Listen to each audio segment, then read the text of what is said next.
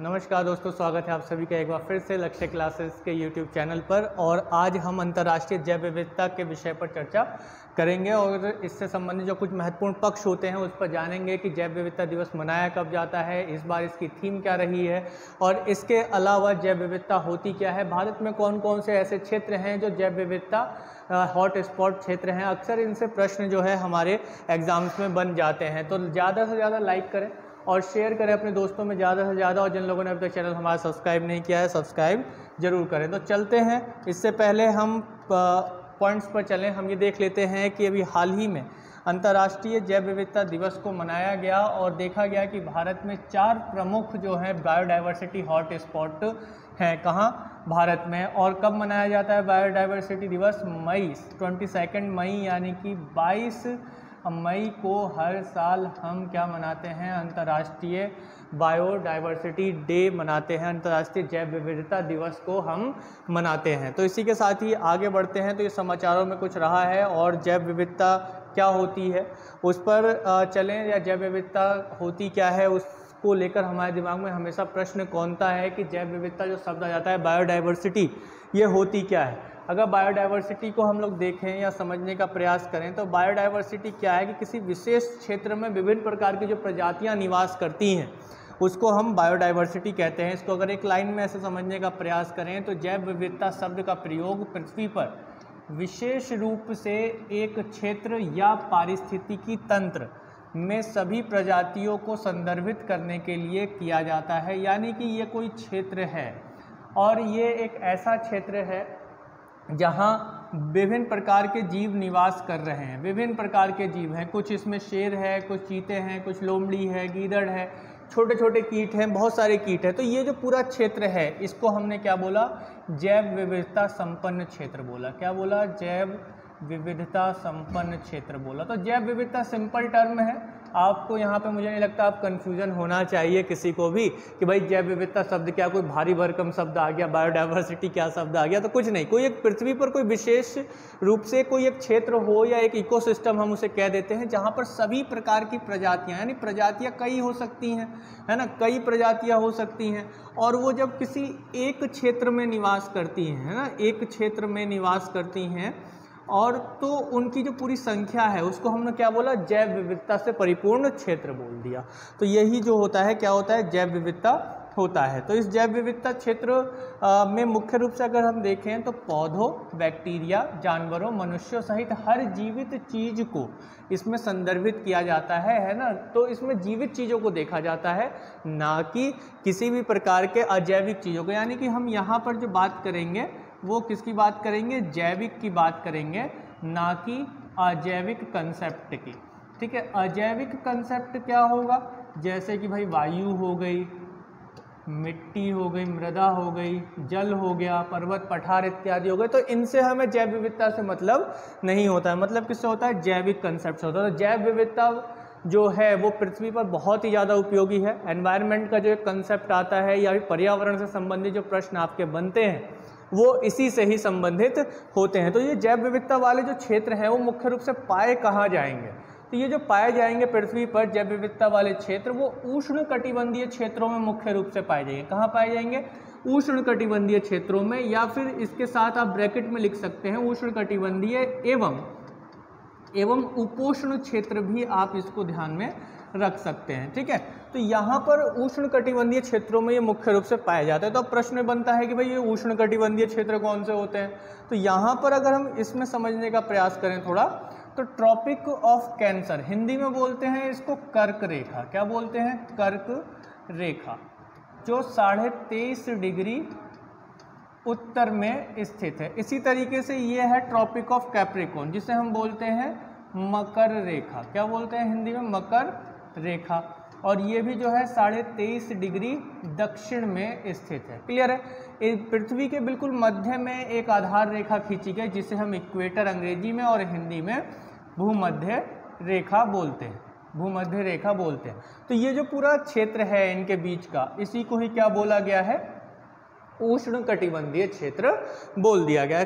बड़ा ही simple term है उष्ण कटिबंधीय क्षेत्र बोल दिया गया। तो जो भी देश उष्ण कटिबंधीय क्षेत्रों में आते हैं यानी कि इन दो रेखाओं के मध्य में आते हैं उनमें मुख्य रूप से कौन सी आ, क्या पाया जाएगा? जैव विविधता पाई जाएगी। जैसे हम इसे यहाँ पर अच्छे से समझने का प्रयास करें थोड़ा सा तो ये आप देख रहे हैं कि जो ये पूरा डार्क एरिया किया हुआ है ये जो पूरा डार्क एरिया किया हुआ है ये तो मुख्य रूप से जो है, स्पष्ट रूप से क्या है? उष्ण कटिबंधीय क्षेत्र है। क्या है? उष्ण कटिबंधीय क्षेत्र है, जिसमें अगर आप देखेंगे तो हमारा प्यारा देश भारत भी आता है। तो यहाँ पे अगर ये डॉटेड लाइन आपको स्पष्ट रूप से नज़र आ रही हो तो ये डॉटेड लाइन जो है उपोष्ण कटिबंधीय तक, यानी कि थोड़ा सा प्रभाव जो है हमें वहाँ तक भी उष्ण कटिबंध का दिखाई देता है। क्योंकि भाई प्रकृति को तो हमने बाँध नहीं सकते, हमने तो ये काल्पनिक रेखाएँ खींच ली, कर्क रेखा और मकर रेखा, और हमने बता दिया कि यहाँ तक रहेगा। तो यहाँ पर ऐसा क्या है कि जैव विविधता सबसे अधिक होती है? क्योंकि भाई इस क्षेत्र में सूर्य का प्रकाश क्या होगा? सूर्य का प्रकाश पूरे वर्ष जो है अधिक मात्रा में आता है। जब सूर्य का प्रकाश इस क्षेत्र में पूरे वर्ष अधिक मात्रा में आता है तो हम जानते हैं पृथ्वी पर ऊर्जा का प्राकृतिक स्रोत क्या है? सूर्य का प्रकाश। और जो पौधे हैं, पौधे कहाँ से भोजन प्राप्त करते हैं, ऊर्जा प्राप्त करते हैं? भाई, सूर्य के प्रकाश से। और पौधों पर जो जीव डिपेंड होंगे वो कौन होंगे? जंतु जो हैं पौधों पर। निर्भर करते हैं तो एक साइकिल बनता चला जाता है, एक फ़ूड चेन बन जाता है खाद्य श्रृंखला जो है यहाँ पर स्पष्ट से बन जाती है। यानी कि जहाँ पर सूर्य का प्रकाश अधिक होगा, वहाँ पर पेड़ पौधे ज़्यादा होंगे। अब जब पेड़ पौधे ज़्यादा होंगे तो उन पेड़ पौधों पर निर्भर रहने वाले जंतुओं की संख्या ज़्यादा होगी। जब वो जंतुओं की संख्या ज़्यादा होगी, यानी कि मान लिया शाकाहारी जीव है तो शाकाहारी जीवों की संख्या ज़्यादा होगी। जब शाकाहारी जीव ज़्यादा होंगे तो उन शाकाहारी पर जीव निर्भर रहने वाले मांसाहारी जीवों की संख्या भी अधिक होगी। तो सबसे अधिक जनसंख्या या जैव विविधता जो है कहाँ पाई जाएगी? उष्ण कटिबंधीय क्षेत्रों में पाई जाएगी। और क्यों पाई जाएगी? ये भी हमने यहाँ पर स्पष्ट कर लिया। अब हम बात कर लेते हैं कि भाई जो जैव विविधता दिवस मनाया जाता है, इसके बारे में कि इसकी शुरुआत कब हुई, कब क्यों हम मनाते हैं, इसका कारण क्या है? तो हम इसकी अगर पहला पॉइंट देखें तो उन्नीस सौ तिरानवे में, कब? वर्ष उन्नीस सौ तिरानवे में संयुक्त राष्ट्र महासभा यानी यूनाइटेड नेशन जनरल असेंबली ने जैव विविधता के मुद्दों पर लोगों के बीच एक समझ और जागरूकता बढ़ाने के लिए 22 मई को कौन सी डेट निर्धारित की? यूनाइटेड नेशन जनरल असेंबली ने 22 मई निर्धारित की, जिसे अंतर्राष्ट्रीय जैव विविधता दिवस के रूप में मनाया जाएगा आईडीबी के रूप में मनाया जाएगा international diversity of biological day ठीक है, इसके रूप में घोषित किया। किसने किया है ये घोषित? यूनाइटेड नेशन जनरल असेंबली ने। ठीक है यूनाइटेड नेशन जनरल असेंबली ने इसकी घोषणा की उन्नीस सौ तिरानवे में। इसके बाद अगर हम बात करें तो वर्ष 2021 से 30 यानी कि जो पूरा ये 10 साल है, इस पूरे 10 साल को संयुक्त राष्ट्र द्वारा सतत विकास हेतु महासागरीय विज्ञान दिवस, सतत विकास हेतु महासागरीय विज्ञान विज्ञान दशक के रूप में घोषित किया गया। किसके रूप में घोषित किया गया? विज्ञान दशक के रूप में। किसके क्षेत्र के लिए? महासागरों के लिए। कि महासागरों का, में जो जैव विविधता है, उसका संरक्षण किया जाए, उसमें जो रिसोर्सेज हैं, उसका सतत रूप से इस्तेमाल किया जाए सस्टेनेबल इस्तेमाल किया जाए, ऐसे ना इस्तेमाल किया जाए कि एक समय के बाद वो ख़त्म ही हो जाए। इसी तरीके से पारिस्थितिकी तंत्र की बहाली पर संयुक्त राष्ट्र दशक ठीक है? ये भी एक पूरा डिकेड एक पूरे 10 साल का जो एक टर्म दिया गया 2021 से 2030 तक पारिस्थितिकी तंत्र की बहाली पर संयुक्त राष्ट्र दशक के रूप में इसे घोषित एक तरीके से किया गया है। इसी तरीके से अगर हम आगे बात करें तो इस वर्ष की जो थीम रही है, वो क्या रही है? 2022 में अगर मुख्य रूप से थीम की बात करें तो 2022 की जो थीम रही है, सभी जीव के लिए एक साझा भविष्य का निर्माण। क्या रहा है? सभी जीव के लिए एक साझा भविष्य का निर्माण। थीम्स जो हैं, आप लोग जल्दी से नोट डाउन कर लीजिएगा। अगर नोट डाउन नहीं कर रहे हैं तो स्क्रीनशॉट ले लीजिएगा। इसी के साथ ही आगे देखें तो 2021 की भी देख लेते हैं साथ में, जब 2022 की देख रहे हैं तो 2021 में क्या रही थीम तो हम समाधान का हिस्सा है। हम समाधान का हिस्सा है, ये जो है 2021 की किसकी थीम रही? अंतर्राष्ट्रीय जैव विविधता दिवस की। ठीक है, जैव विविधता दिवस। की अगर हम बात करें, अंतर्राष्ट्रीय जैव विविधता दिवस की अगर हम बात करें तो 2022 में ये थीम है 2021 में ये थीम है तो लगे हाँ तो 2020 का भी देख लेते हैं कि वर्ष 2020 में जो थीम रही, हमारे समाधान प्रकृति में है। हमारे समाधान प्रकृति में है, ये जैव विविधता की थीम रही वर्ष 2020 में। जैव विविधता दिवस के, जैव विविधता दिवस कब मनाते हैं हम लोग? बारह 22 मई को मनाते हैं। कब मनाते हैं? 22 मई को मनाते हैं। तो इसी के साथ ही अगर हम आगे बढ़ें तो भारत के प्रमुख जैव विविधता क्षेत्र कौन कौन से हैं? जल्दी से देख लेते हैं। जो अक्सर समाचारों में भी बना रहता है और अक्सर हमसे पूछा जाता है। पूरे विश्व में देखा जाए तो 36 जैव विविधता हॉट स्पॉट वाले क्षेत्र हैं। भाई, हॉट स्पॉट क्या होगा? जैव विविधता का हॉट स्पॉट क्या होगा? यानी ऐसे क्षेत्र जहाँ पर जीवों की प्रजातियाँ प्रजातियाँ जो है चरम सीमा से अधिक निवास करती हैं, यानी कि यहाँ पर भरमार है अलग अलग प्रकार की जीवों की।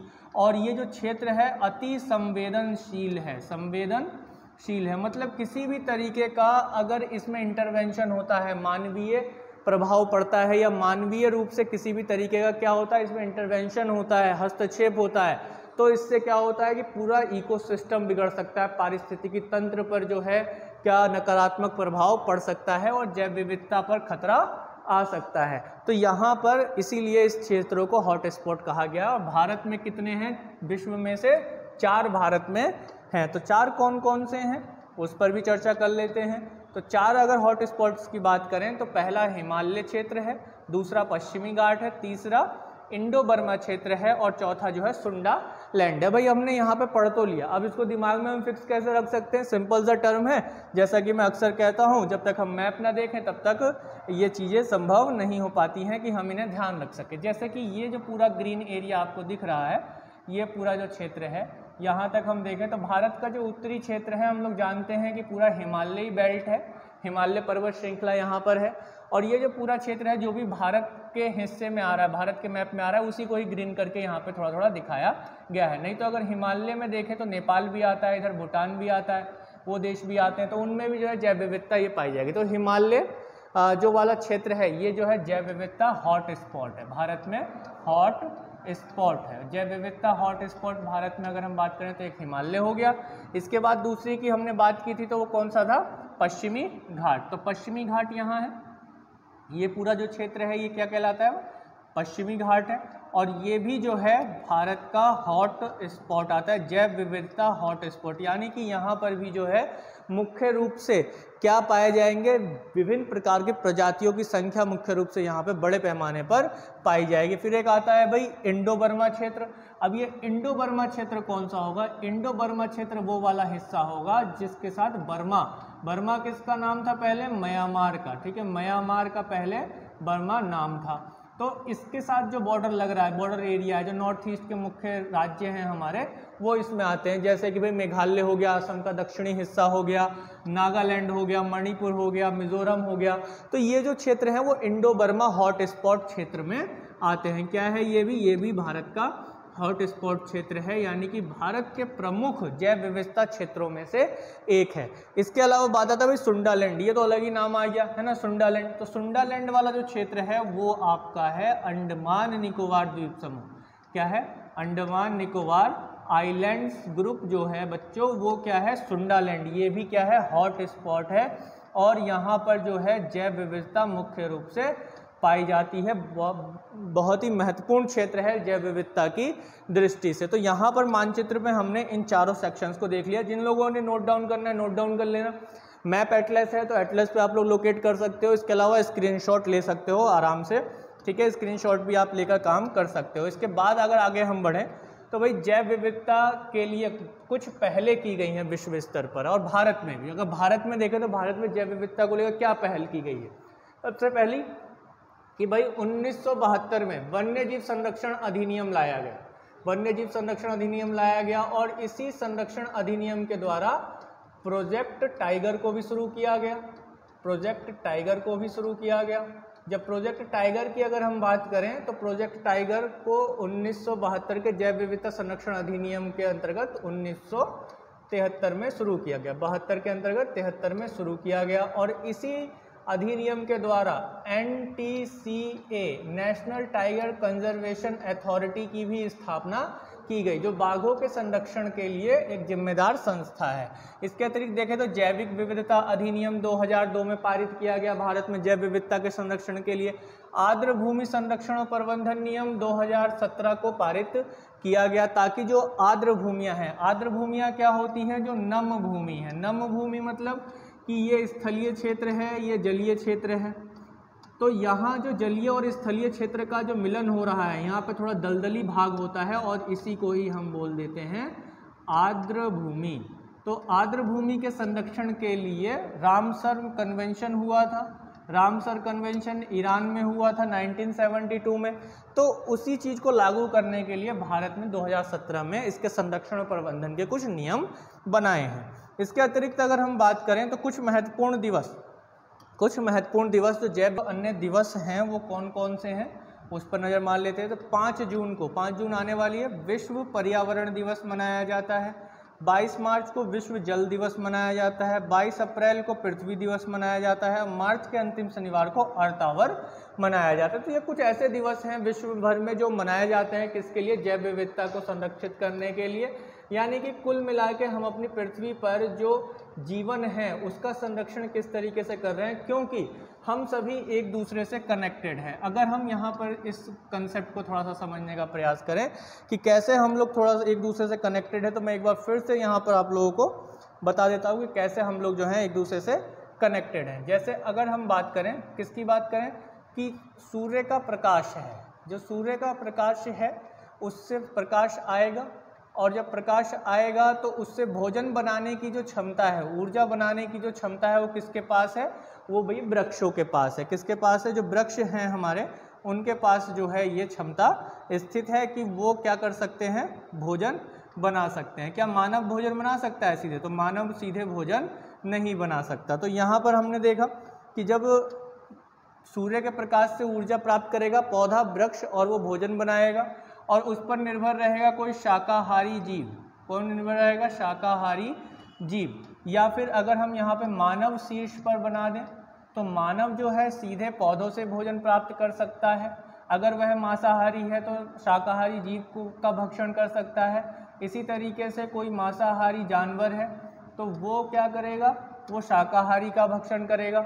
तो इस तरीके से हम सब जो है कहीं ना कहीं कनेक्टेड हैं। इसी तरीके से मिट्टी में रहने वाले जो छोटे छोटे कीट हैं, छोटे कीट हैं, वो भी किसी ना किसी रूप में पौधों से निर्भर रहते हैं या एक दूसरे से हम लोग कनेक्टेड रहते हैं। तो हम सब एक दूसरे से कनेक्टेड हैं और यही कारण है कि जैव विविधता को बचाए रखना ज़रूरी है, जीवों का संरक्षण ज़रूरी है, प्रकृति ने सभी को कोई ना कोई काम देकर भेजा हुआ है और यही कारण है कि यूनाइटेड नेशन जनरल असेंबली ने 22 मई को हर साल अंतर्राष्ट्रीय जैव विविधता मनाने के लिए कहा है। उद्देश्य मैंने आपको शुरू में ही बताया ताकि मानव इस चीज़ को समझ सके कि जैव विविधता कितनी आवश्यक है और उनके आवासों को, जानवरों के आवासों को भी बचाया जा सके। तो ये वीडियो आप लोगों को कैसी लगी, कमेंट करके ज़रूर बताइएगा। और जो लोग अभी तक नए हैं, जिन्होंने अभी तक सब्सक्राइब नहीं किया, सब्सक्राइब ज़रूर करें, बेल आइकन को प्रेस ज़रूर करें, लाइक करना ना भूलें। धन्यवाद, जय हिंद।